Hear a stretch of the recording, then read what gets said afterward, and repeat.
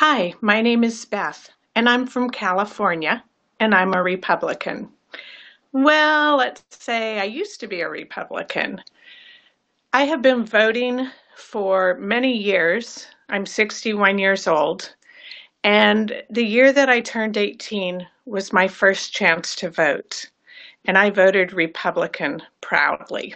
I was raised in a Republican family, and for my entire life, I've believed in the policies and agreed with a lot of Republican views. Several terms back, I started to take a look at who my Republican friends were and also who some of my Democratic friends were. And I realized that I was starting to change in what I believed. And I definitely was changing in who I thought should be running our country.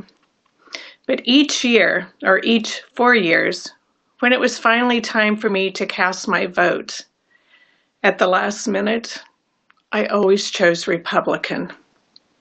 I did in 2016 too, and I've regretted that ever since. That night, watching the polls come in, I was shocked that Donald Trump was actually going to win the presidency even though I voted for him, I really thought Hillary was going to be the one who would be leading our country.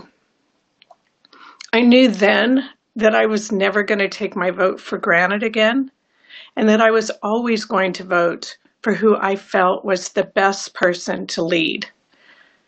There's no way I would ever think that Trump would be the best person to lead. I have been so disappointed in his leadership style, and I have been completely shocked by the name calling and the disrespect he shows for so many people who actually love America and who want to see America continue to be strong on the global stage.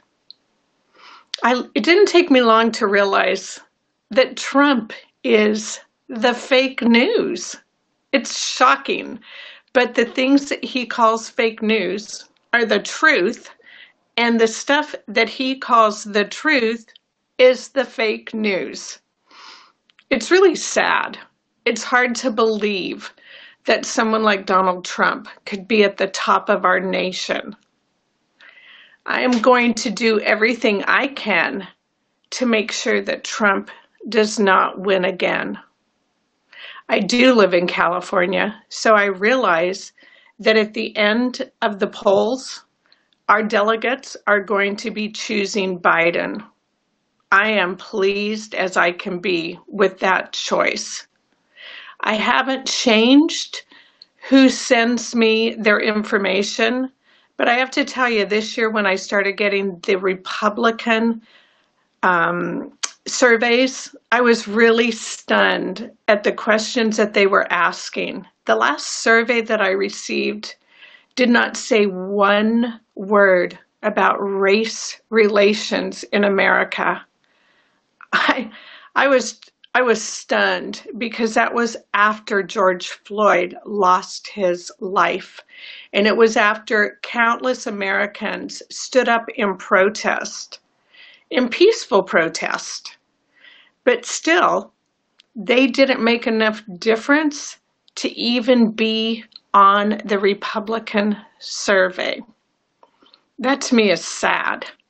I want to have a voice. I want there to be other voices in America than just one.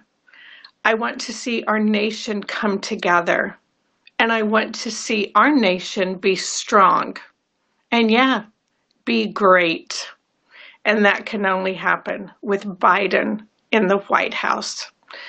I'm sure every one of you don't need me to remind you that this year the vote is so important and there can only be one choice Biden for the win.